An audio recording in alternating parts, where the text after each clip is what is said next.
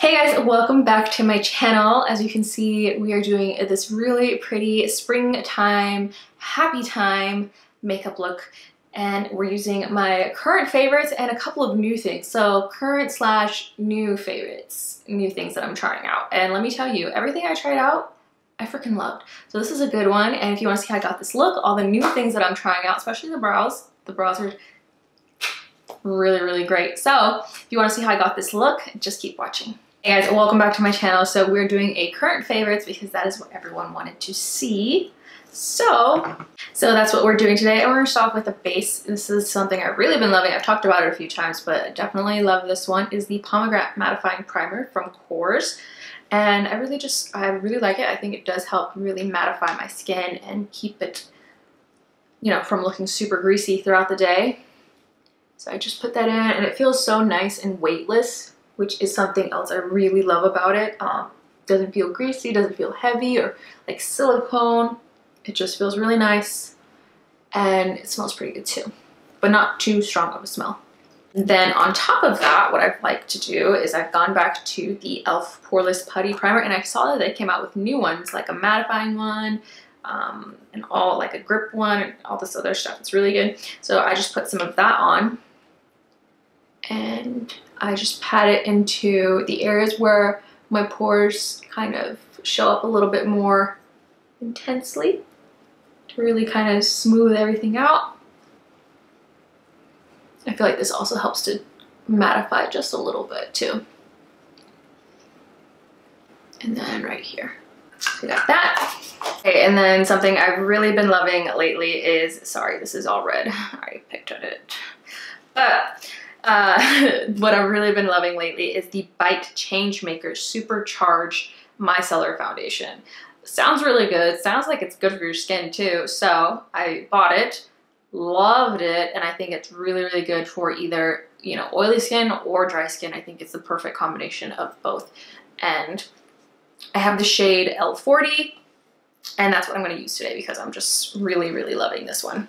I just love how it's not super, you know, it's not a full coverage foundation, but it does give you like at least medium coverage and you can definitely sheer it out and use less for a more skin-like finish if you want. I just like the finish. I think it's pretty. I think it's perfect for an everyday type of foundation and I definitely recommend it. So, and it's even better because you can use it whether you have oily skin or dry skin. So I just love when brands do that because I think lots of people want to try the same one out, but maybe their skin type just doesn't let them uh, love it like other people do. So love this part. And then I'm just taking my brush and we're gonna put this on. This is the first time I've put on makeup in a while and I kind of forgot how I did my lighting so the lighting might be a little off but I kind of feel like maybe it looks more true to color so that might be a good thing.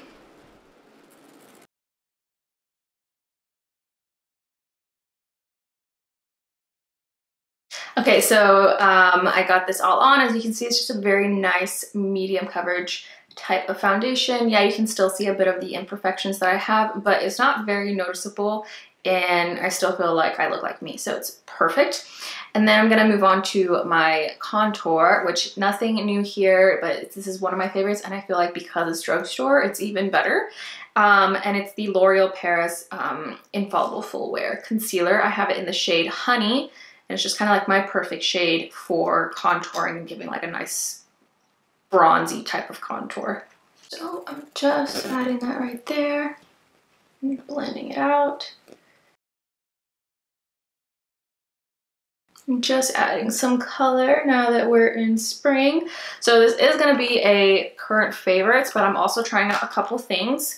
Um, and it'll be something new that y'all get to see. Like I have a new brow product that I got during the Ulta um, 21 Days of Beauty steals. And it's from Urban Decay. And I wanted to try it. And I was like, oh my gosh, $12. I'm going to get that. And I can try it out. So we'll see how that works. Okay, so one of the new things that I'm trying out is the Bare Minerals Bare Skin Complete Coverage Serum Concealer. And I got this because it's supposed to be a little bit more natural looking, a little bit more hydrating. Um, and I love Bare Minerals. They're just all natural. And they're one of like the first clean beauty brands. They've always kind of been that way. So I really love them. Wanted to try it out and have less kind of um, drying uh, concealer, even if it's a little bit less coverage and have a more hydrating so. Putting that on and I I bought this during the Ulta Beauty 21 Days of Beauty and I wanted to try it out. Like, perfect, I can try it out. Like nine bucks, nine, ten bucks, I don't know. And I'm just going to use, okay, so I found it. I'm going to use my Sonia Kashuk Beauty Sponge and I'm just going to blend that out. And so far, I'm loving the color. I think I definitely picked the right color, not too um, bright because I don't really like that whole bright look anymore. And I think it looks really, really nice. Definitely giving me some coverage and brightening it up a little bit, but keeping it nice and natural, which I'm really, really digging. I think that looks pretty good. So did I mention what shade I got? I got the shade Medium Golden, which was supposed to be more golden, I guess. So just a little bit right there. A little bit right there. And then I'm just blending that out. I'm really just using a little bit on my forehead because I don't need too much.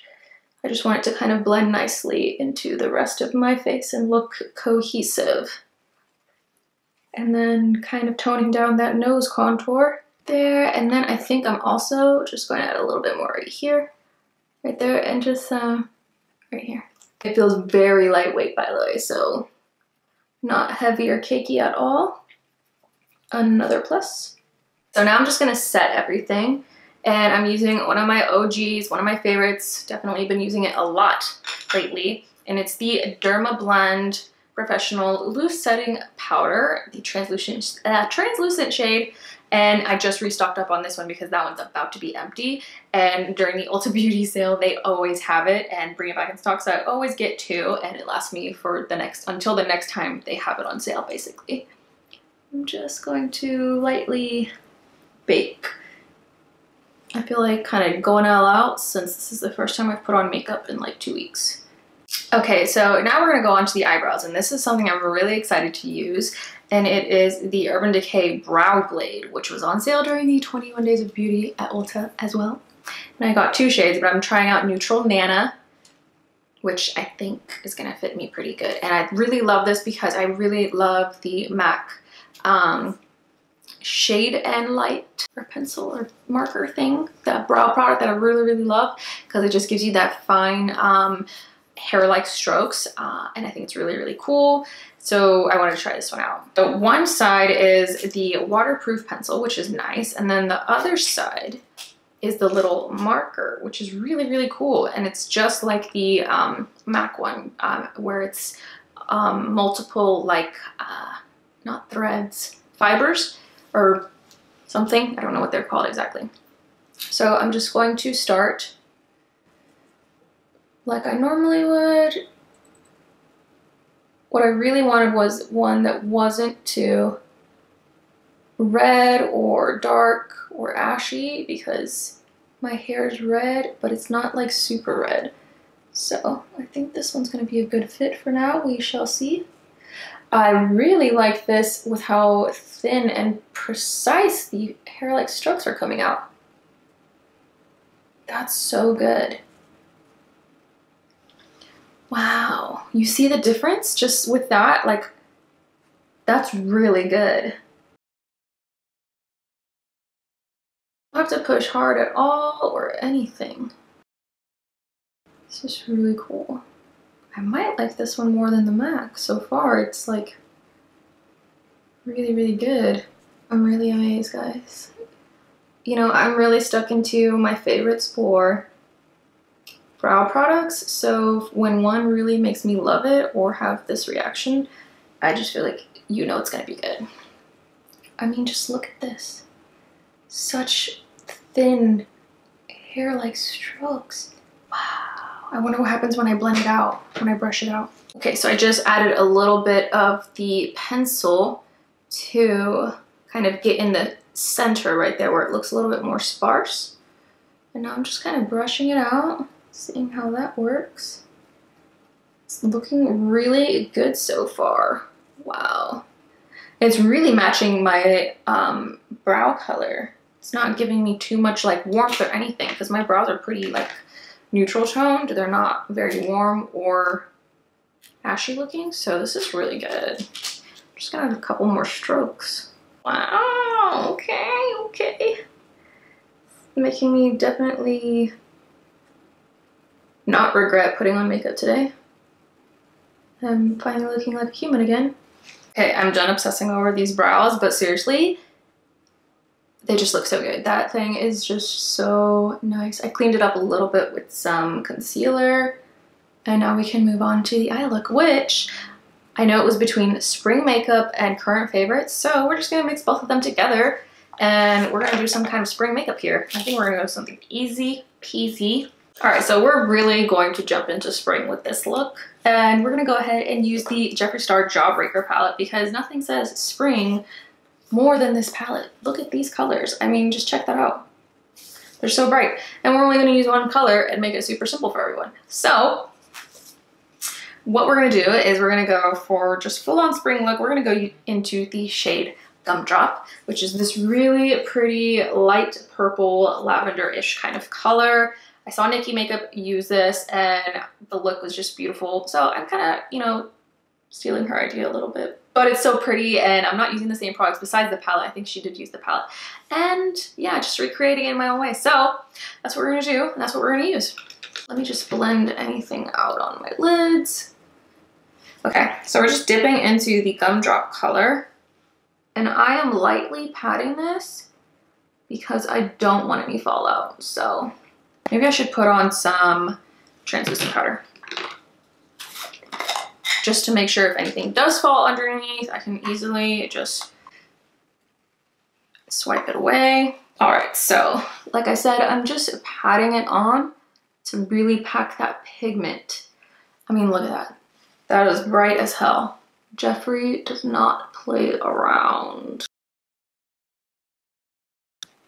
and it's not really patchy, which is, I feel like it's so hard to do when you have these really beautiful, bright colors to make something that's not patchy.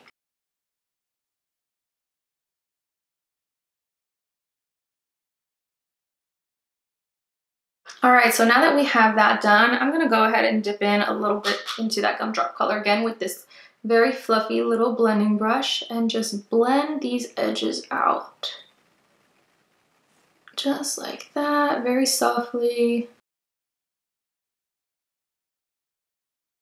Kind of creating a little bit of an outwards type of wing, but not too much. Just giving it a little bit of shape. It's just so pretty, I just love it. Okay, now we're gonna go into the bottom. If I can find a clean pencil. That's clean enough. And just apply that color to the bottom. I'm trying to pat it versus swipe even though it's a little bit harder to just pat it on since my eyelashes are like directly in the way. All right, now for the inner corner, I think I'm gonna take a little bit of this really pretty like shimmery pink. Let me see how it swatches. Okay, whoops. This shimmery pink right here and put that in the inner corner. Um, I think that'll look really pretty and kind of complement the purple pretty nicely. Yes, that looks really nice. Looks definitely more sheer or less pinky once you put it on. Just like that.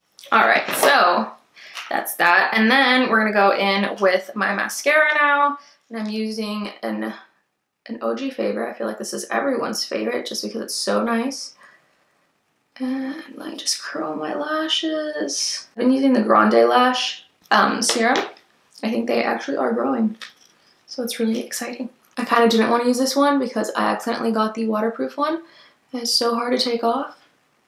But this is my favorite formula, so. I just love the look it gives to my lashes. It's so good. All right, and then we're gonna move on to the blush. I'm not sure if I'm gonna put on lashes yet. I just kind of don't feel like that's where I'm at these days, but I might, I don't know. Um, we're gonna move on to the blush and this is like one of my favorite palettes of all time and this is from Morphe. Their blush palettes are the best. This is my favorite, one of my favorites and then I love the um, warm toned one which has more like peachy tones. but this one's really, really pretty. I love the pinks. I love this color, these colors right here because they're like pinky peach colors.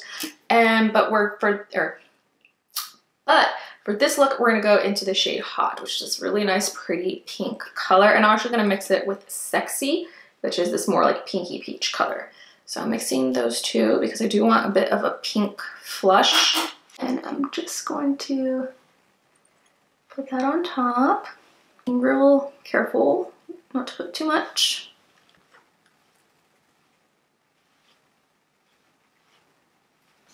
Yeah, that looks good. All right, and then for my highlight, this is one I've really been loving. I've talked about it before just because it's so good. And this is the Milk Makeup Oil Stick, I believe. Hydrating oil stick, and it's just clear oil, nothing to it, but I like to just rub my fingers around it. And then when I want just like a nice clear glossy type of look with no pigment, nothing too fancy, more natural looking, I put this on the tops of my cheeks, right where my regular highlight would go. And I just tap it. Very careful, very careful to tap it versus like blending it in or rubbing it in because then you'll just take away all the makeup you put on. This way nothing comes off. You just get that nice added glow. You see that? Looks so pretty, dewy. All right, so now let's move on to the lips. And one of my favorite, I think everyone should have this one. It's just a perfect nude lip liner if you have my skin tone or maybe a little bit lighter.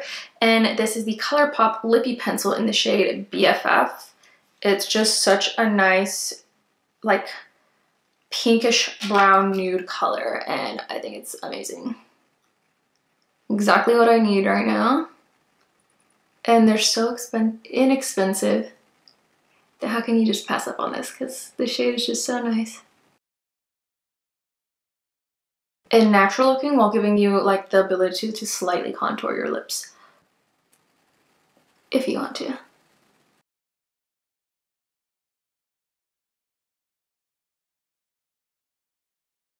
And then something else that I've really been loving is the look of like stained or blotched lips. And I just think it's so nice. It gives you that nice color without actually putting too much. And I'm using the ColourPop Ultra Blotted Lip, which is, this, this shade is really one of my favorites. I want an even pinkier shade, but this one's really nice too. And it's the shade Doozy. I just tie it right here. Gives you that nice kind of like berry color.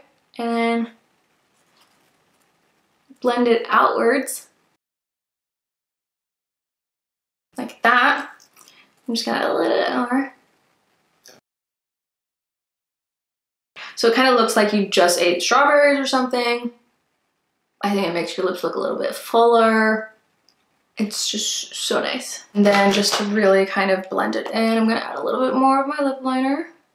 And then we're gonna add gloss on top because I'm into that into that these days. All right, and for my lip gloss, we are using the Fenty Beauty um, Gloss Bomb Diamond Milk, which looks just like this. And because I don't want to stain it, I'm gonna go ahead and put it on my finger like that. It's already kind of stained, but I don't want to do it even more. And I'm gonna just Alright guys, so this is the finished look. What do you guys think? Honestly, I can't get over how good the brows look and the highlight because it's just so glossy and dewy and pretty and natural looking. I can't help it. But, okay, so this is the finished look and I think it's really pretty. I think it's a nice way to incorporate some spring colors. I don't think it's too out there. I would definitely wear this every day. I feel like a lot of people could wear this every day and it's still not, like it's not like a dark purple you know, or anything like it's a lavender color. I think it's nice and you could always sheer it out a little bit too, I think.